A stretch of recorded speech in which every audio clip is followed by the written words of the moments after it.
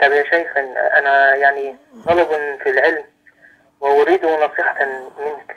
نصيحتي أولا عليك بالقرآن والسنة الثابتة الصحيحة. اجتهد في تحصيلهما قدر جهدك واستطاعتك. وبعد لا مانع من أن تلتقي ببعض أهل العلم في بلدك الذين يسيرون على نهج نهج أهل السنة والجماعة يعلموك ما جهلت من أحكام دينك. من الفقه؟ ولا تشترك في جماعات ولا في أحزاب. هذه الجماعات والأحزاب تصد عن عن تعلم الدين في الغالب في غالب الأحوال وتورثك العصبية. فأنصحك أن تتعلم الكتاب وأن تتعلم السنة ولن تخسر أبدا ولن تندم.